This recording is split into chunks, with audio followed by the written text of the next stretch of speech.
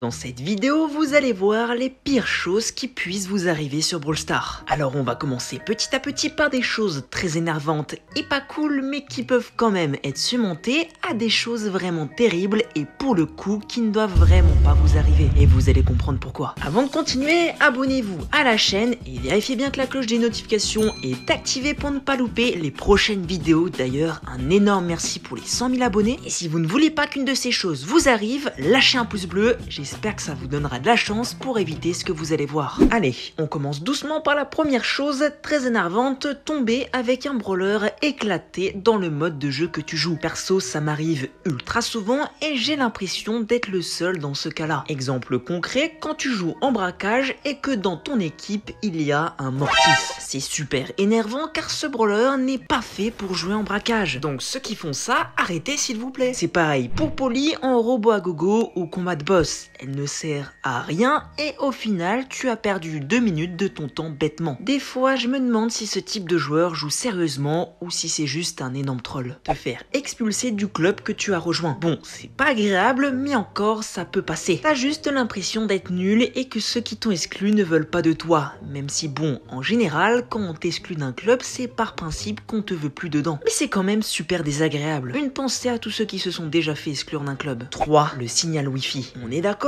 c'est horrible quand ça t'arrive. Ton jeu crash, bug et tu ne contrôles plus rien. Au final, tu perds tes trophées alors que tu aurais pu éviter cela. Ce petit signal Wi-Fi a dû faire rager des centaines de milliers de joueurs. La dernière fois que j'ai vu ce signal, c'était quand j'ai joué une partie et que mon jeu est resté figé au début. Au final, j'ai juste perdu ma partie sans même avoir joué. Et je peux vous dire que j'ai regretté d'avoir lancé ma game. 4. Quand tout le monde team contre toi. Alors ça, c'est vraiment terrible et ça se produit très souvent quand tu as beaucoup de trophées. Tous ceux qui rushent des brawlers le savent et sont forcément passés par là. Si tu fais pas comme les autres brawlers et que tu ne tournes pas, tout le monde va se retourner contre toi et t'attaquer. Et en 9 contre 1, tu peux rien faire du tout. Enfin, non, tu peux te faire tuer, mais c'est tout. C'est d'ailleurs pour ça que le mode survivant plus est sorti pour éviter le teaming. Mais bref, c'est vraiment désagréable et je ne souhaite cette chose à personne. 5. Les brawlers AFK. Ça m'énerve, mais à un point, vous n'avez pas idée. Quand tu vois ton coéquipier qui ne joue pas et que tu te fais détruire juste après car tu es seul contre tout le monde, c'est vraiment une sensation très désagréable. De même en Brawl Ball ou dans les autres modes de jeu. Soit les autres en face sont nuls et tu as une petite chance, soit c'est foutu et tu perds tes trophées. 6. Les trickshots ratés. Ça, c'est une sensation encore plus désagréable que la précédente, surtout quand tu es sur le point de gagner. Ton coéquipier trickshot, c'est souvent des mortis d'ailleurs, et il se rate, ce qui t'empêche de gagner. Et le pire de tout, c'est quand l'équipe adverse arrive à inverser la tendance et à te marquer un but. En plus de perdre des trophées, tu as doublement le seum, car si ton coéquipier n'avait pas tenté de trickshot, tu gagnais la partie. Septième, jouer en duo et le gars te fait respawn dans le poison. En gros, des joueurs s'amusent à prendre un brawler qui a beaucoup de vie et dès que tu meurs, ils vont aller très très loin dans le poison pour que tu respawns dedans. Au final, tu as pas le temps de sortir du poison et de revenir dans la map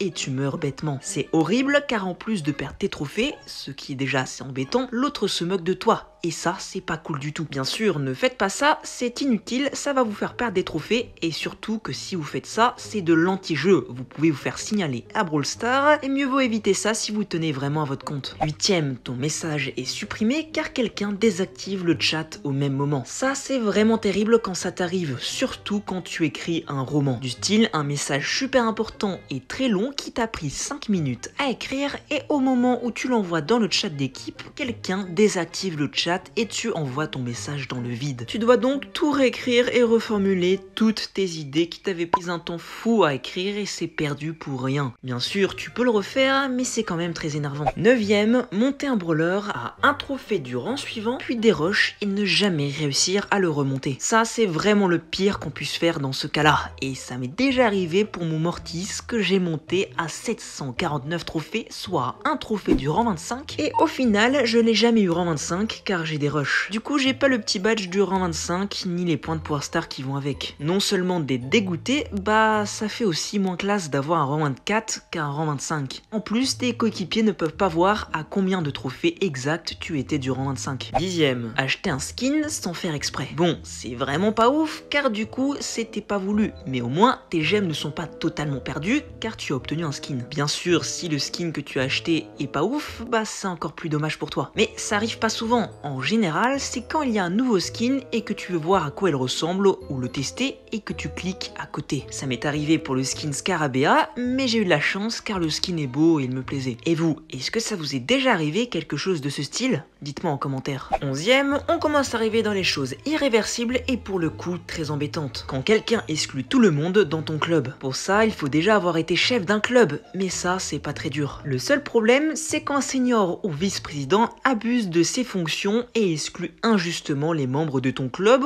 ou du club où tu es présent. C'est pour ça que vous devez avoir confiance envers les personnes à qui vous donnez des permissions pour pas qu'une telle chose arrive. Car quand tu te reconnecteras et que tu verras que dans ton club il n'y a quasiment plus aucun membre et que les personnes exclues ont un délai pour revenir dans ton club, bah c'est une vraie galère. Deuxième, acheter une œuvre très chère ou débloquer tout le Brawl Pass et n'avoir aucun nouveau brawler. Alors ça pour le coup c'est pas de chance et ça te fait vite regretter d'avoir acheté une offre ou payé tout ton Brawl Pass. Ça m'est aussi arrivé il y a longtemps où j'avais acheté une offre assez chère avec plein de méga boîtes et j'ai rien eu du tout. Même pas un nouveau Star Power. C'est pour dire mon niveau de malchance. Et quand une telle chose se produit, impossible de retourner en arrière, ton argent est déjà parti. Il faudra retenter une prochaine fois. 13ème, avoir des gemmes négatives. Je ne vous souhaite pas du tout que ça vous arrive. J'en avais déjà parlé sur une récente vidéo où une personne avait réussi à avoir plusieurs milliers de gemmes en négatif. Et pour le coup, c'est très embêtant et tu ne pourras plus avoir de gemmes tant que tu n'as pas remboursé ton crédit. C'est comme si tu avais une dette dans ton jeu. Par exemple, si tu obtiens des gemmes dans ton Brawl Pass, elles seront soustraites de ta dette de gemmes. Ce qui veut dire que tu ne repasses pas dans le positif en les récupérant si tu n'as pas obtenu plus de gemmes que ta dette. Une telle chose peut se produire si vous avez fait un achat dans le jeu, que vous dépensez vos gemmes et que vous demandez à Brawl Star d'être remboursé. Brawl Star ne pourra bien entendu pas vous supprimer les gemmes que vous avez dépensées dans le jeu, mais votre compte passera en gemmes négatives. Pour terminer,